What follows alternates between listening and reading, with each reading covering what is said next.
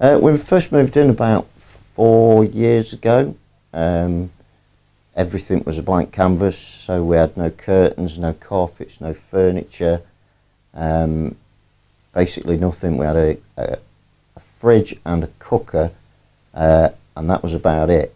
Um, so we decided, because it was blank canvas and we needed to decorate the house, we'd, we'd kind of give it a 70s theme. Uh, the 70s is something, a period of I've always been interested in. I was a child of the 70s. Uh, it's always been probably one of the greatest times um, for design, for colours, um, just for everything really. Everything was just so cool. Um, so we set about getting the house into a, a set, giving it a 70s vibe. Um, we then decided that because there was so much interest in mid-century things around at the time, um, and we couldn't find a lot of the sort of fabrics for the lampshades, the cushions, we decided to start a business which involved making and selling cushions, lampshades, sourcing original 60s, 70s items for people. And the response was phenomenal. Um, business has gone from strength to strength at the moment. Um, due to the lockdown, people are spending more times in the home.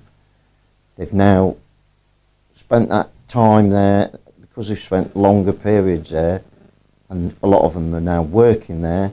They're spending more money on their homes and making it a nice place to be, purely because they're spending more time there. Um, people's reaction is it always surprises me because they always seem to be the jaws drop and they can't believe that everything's so original, it's not reproduction.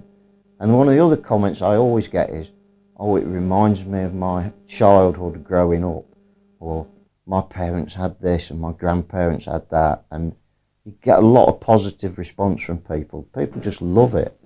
The jukebox is the one thing I'd never part with. It's fantastic.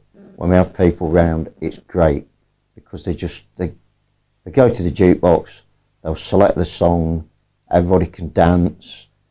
It's a vi- it's vinyl records. Everybody who comes around, they remember the old vinyl.